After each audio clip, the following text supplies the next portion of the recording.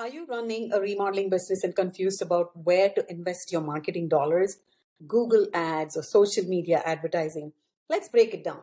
Firstly, Google ads, it's search based. When someone types best remodeling service near me, they're likely to find you if you've invested wisely. It's amazing for instant results, and the quality of lead is high since it's a homeowner that is on a Google search page looking for a solution.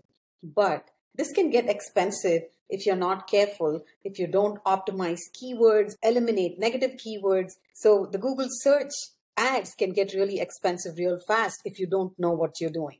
But social media ads like Facebook and Instagram ads, here's the kicker. They offer a global reach. With billions of users on platforms like Facebook and Instagram, the sky's the limit. And you're not limited to just text ads as you are with Google search. Here you can showcase your work with amazing visuals, videos, before and after shots, you name it, you, you can do the sky's the limit.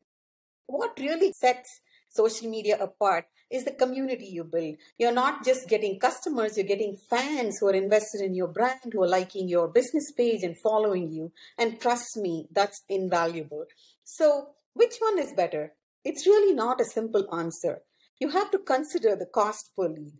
Google Ads can be pricey, while social media with the right strategy could give you better value for money. Targeting is another thing. Google Ads are great for specific search intent, but targeting abilities in social media is wider. You can target by age, location, interest, getting as granular as you want. So return on investment isn't just about immediate conversion. Sure, Google Ads may get you quick results, but what about lifetime customer value? Social media can help build a brand, not just sell a service. But if you can do both, why not do both? A hybrid approach captures leads at every stage of the customer journey. So tailor your strategy to your business needs and budget, and you could really strike gold.